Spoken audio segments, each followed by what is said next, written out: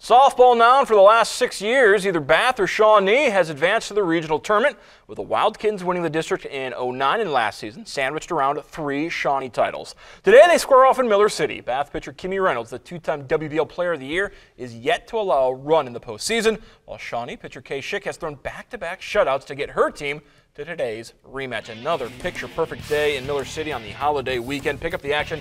Top of the second, no score. Kimmy Reynolds keeping it that way with the strikeout on Kirsten Courtney in the home half. Runner on third for Bath's Courtney Helmig, just one out. Hits the fly ball to left field. Shannon Simpson is there to make the catch, but Kara Diensberger tags up, scores easily. Bath grabs the one-run lead.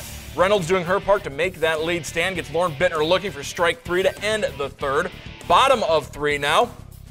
Carly Fry leading things off with a single. She would later score in a rundown to give Bath a 2-0 lead. Go to the top of the fourth.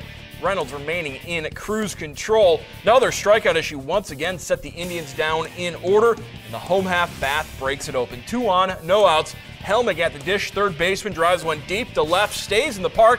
Diensberger scores again. Wildcats take the 3 0 lead, and runners on second and third for Ellie Dakin. Grounder past the diving second baseman, plating Cassie Bestman's third. Helmig right behind her. As Bath scores four in the fourth, they tack on two more and win 8 0 to claim back to back district titles.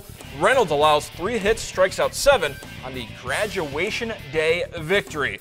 The Wildkittens return to Bucyrus. They will face Clyde. That game will be Thursday at 5, while State Power LaGrange Keystone faces Maumee on Wednesday semifinal. Regional title game set for Saturday at noon at Bucyrus High School.